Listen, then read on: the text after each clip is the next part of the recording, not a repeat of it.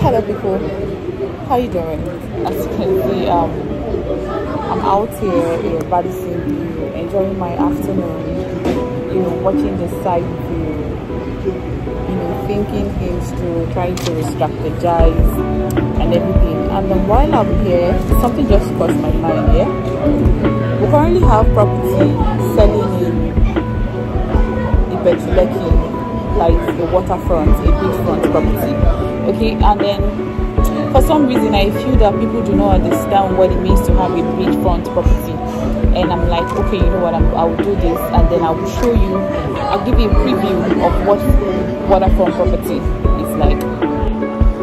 So people, this is a typical example of what a waterfront property is, a beachfront property is. Don't you like this view?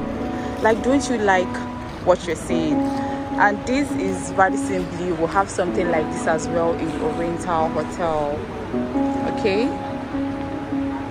Now this is the typical typical typical example of waterfront beachfront property.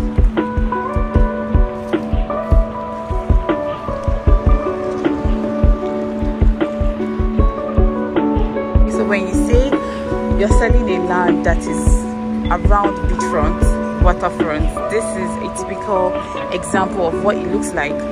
So like I was saying, imagine owning something like that. Now, some people will say, Cidia, this your property is all the way in um, Ibeju Lekki. It is far, this, that, blah, blah, blah, blah. Then I want to take you back down memory lane. Remember when this, or, or we don't remember, we just probably know that there was a time this Radisson Blu was being sold for this 5.5 or even less. And then the smart investors and people that see foresight were like okay you know what? We're doing this. And those that will be like it is far we're like it is far. I don't want to do this.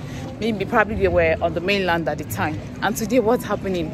You know like we always say the bush of yesterday becomes the city of today. Okay the people who bought bush bushes many years ago end up becoming the owners of this luxury beautiful amazing apartments houses and the likes right? Now you little wonder how much how how much the person that owns Radisson Blu bought it. Have you thought about that? And i'm giving you a beachfront property for 5.5 million naira in Ibeju Lekki i will tell you for a fact it's a big deal. And if i were you i will be calling me right away like you cannot argue it. Now so many things you can do with it. You can decide to invest. It's called investment. You can decide to invest and leave it in the long run. In the long run you might now decide to use it for yourself. Or in the long run you might decide to you know sell off. And you're selling way way higher. That's what you get in real estate. You don't ever ever go wrong with real estate. And i'm giving you this. And mind you this property will be going up very soon will be selling for 7 million naira very soon. Because like i always say land is the only thing that will forever appreciate. And it doesn't take a longer time to do that.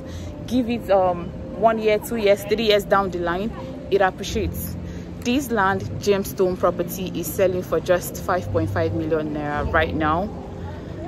Two three years from now it should be doing like 50 million pending on where it is. Because um what's it called Dangote refinery, the seaport, everything coming within that around that axis, prices there will skyrocket massively, massively. And the wise ones will invest now and smile later. So yeah, this is a beachfront, and this is Radisson Blu. If you love what you're seeing, then invest in the future. Thank you and one more thing.